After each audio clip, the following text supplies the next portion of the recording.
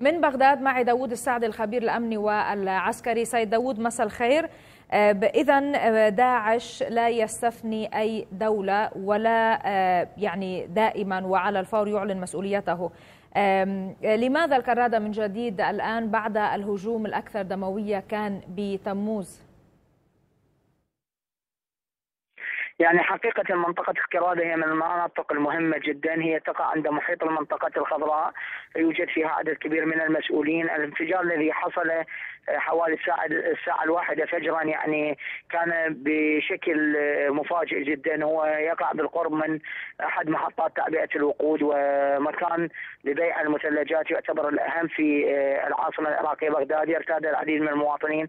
منطقة الكرادة هي واحدة من منطقتين أو ثلاثة في العاصمة العراقية. تبقى فيها المحلات مفتوحة إلى ساعة متأخرة يوميا يعني. ليس في شهر رمضان فقط. هناك ثلاث مناطق في بغداد المعروف هي الكرادة والمنصور وشارع فلسطين. هي المناطق الوحيدة التي توجد فيها حركة المواطنين أما بقية مناطق العاصمة فأغلبها تغلق عند الساعة الثانية عشر. يعني قبل يعني الثاني عشر منتصف الليل. منطقة الكرادة شهدت أكثر من انفجار.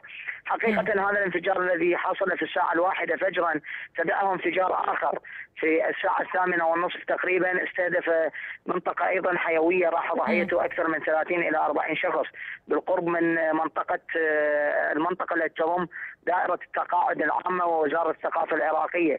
يعني منذ ال 24 ساعة الماضية شهدت عدة انفجارات نعم. أن تنظيم داعش يحاول بهذه التفجيرات إبعاد أو ربما تخفيف الضغط الذي يحصل في مدينة الموصل في الجانب الأيمن من مدينة الموصل. هل س...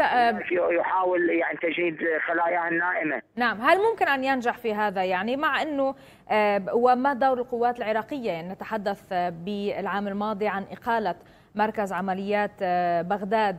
ما الدور الذي كان يجب أن تلعبه هذه القوات قوات الأمن حتى لو في بغداد بعيدا عن الاشتباكات طبعا المتواصله والمعركة الأهم اليوم بالموصل؟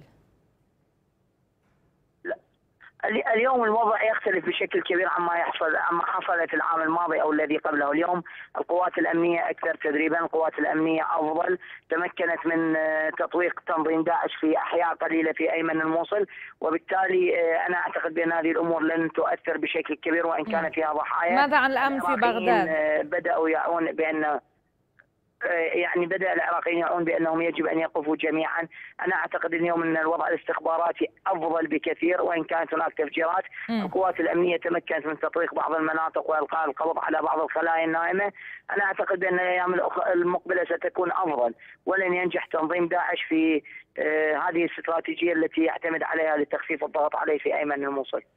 أنا أشكرك جزيلا من بغداد داود السعد الخبير الأمني والعسكري